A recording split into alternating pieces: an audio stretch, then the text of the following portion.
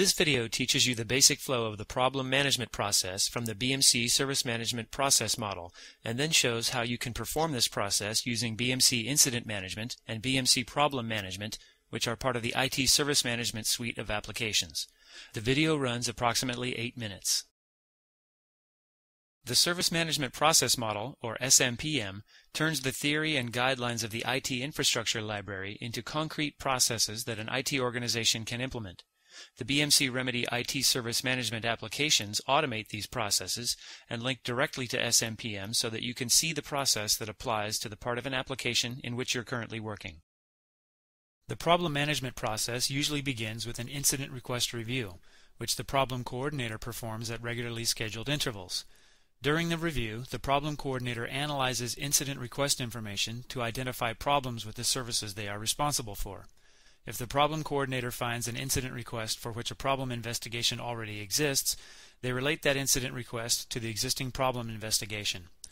When a new problem is identified, the problem coordinator creates a problem investigation and relates it to the corresponding incident requests.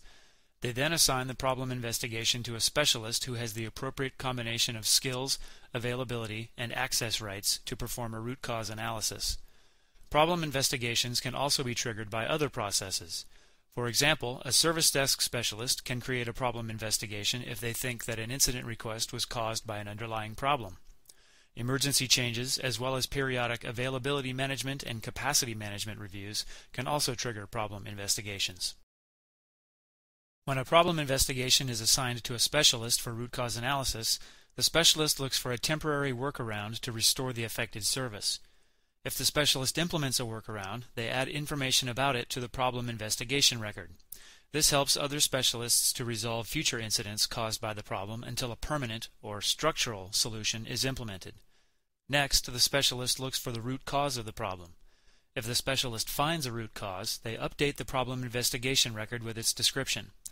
The specialist then evaluates possible structural solutions and adds a description of each solution to the problem investigation record, along with a recommendation for the preferred solution.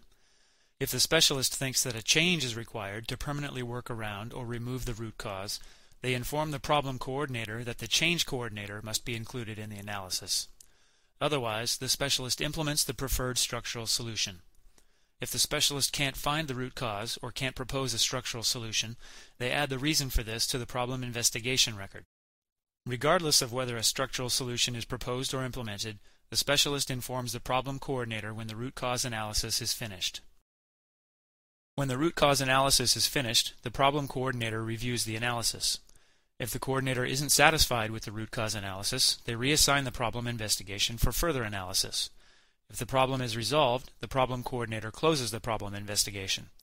They also close the investigation if the specialist performed a sound analysis but couldn't propose a structural solution. If the specialist proposed a structural solution but didn't implement it because they believe a change is required, the problem coordinator first confirms that this is the case.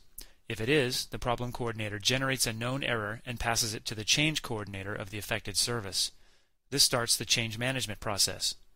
Later, after the change is implemented, the change coordinator reassigns the known error to the problem coordinator for closure.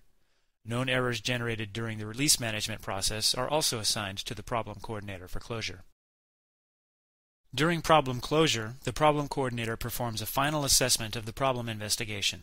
If the problem coordinator is satisfied that the problem's root cause has been permanently removed, they close the problem investigation. If the root cause analysis concluded that no permanent workaround or solution to the root cause currently exists, and if the problem coordinator agrees, then they indicate that the problem investigation is at an impasse. This leaves the investigation open for periodic review in the event that an appropriate solution is available in the future. If, however, the resolution didn't remove the root cause, or if the problem coordinator thinks that an appropriate solution is available, they reassign the problem investigation for further analysis. Now we'll look at how the problem management process works in BMC Remedy ITSM applications. In this video, the problem management process begins when the problem coordinator initiates an incident request review using BMC Incident Management. From the defined searches area of the incident console, they create and run a custom search that looks for records that aren't yet linked to a problem investigation and that were resolved with a workaround. When the problem coordinator finds an incident request that warrants a root cause analysis, They create the problem investigation record directly from the incident request record. With the incident request record open, the problem coordinator expands the Create Other Requests menu and then clicks Create Problem. The new problem investigation record is populated with information from the incident request record. After the problem coordinator completes the other required fields on the problem investigation form and saves the record, a relationship is created between the problem investigation record and the incident request record. Next, the problem coordinator selects an assignee for the root cause analysis. From the Assigned Group menu, the problem coordinator selects the support group that the root cause analysis is assigned to. If the problem coordinator saves the problem investigation record at this point, the investigation is assigned to an individual within the support group based on the configured assignment rules. The problem coordinator can also manually assign the root cause analysis to a specific specialist by selecting that person from the Assignee menu. The specialist begins the root cause analysis by first determining whether a temporary workaround to the problem exists. If one does, the specialist implements the workaround and then enters information about it in the workaround field on the problem investigation record. If the specialist finds a root cause for the problem, they evaluate the possible solutions and then update the record with this information along with a recommendation for the preferred solution. The specialist then implements the recommended solution.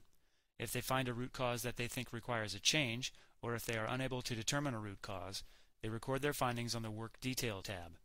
When the root cause analysis is finished, the specialist reassigns the problem investigation to the problem coordinator for review by selecting the coordinator's group from the Assigned Group menu and the coordinator's name from the Assignee menu.